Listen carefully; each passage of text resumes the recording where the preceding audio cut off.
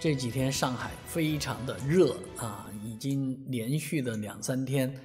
最高温度到了四十度以上了啊。那基本上这么高的温度，让大家都是有点措手不及，因为来得太早了啊。当然，目前来讲，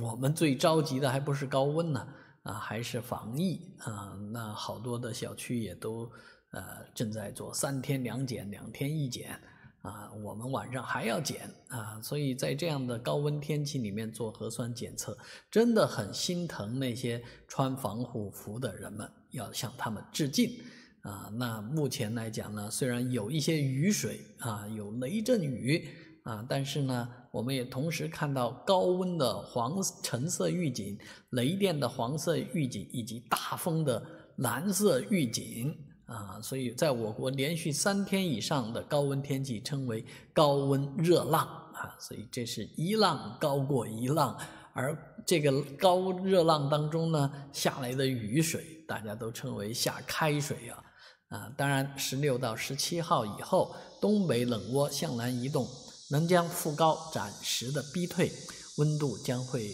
下滑到三十五摄氏度以下。但是你也不要期望太高，反正就是这么的热。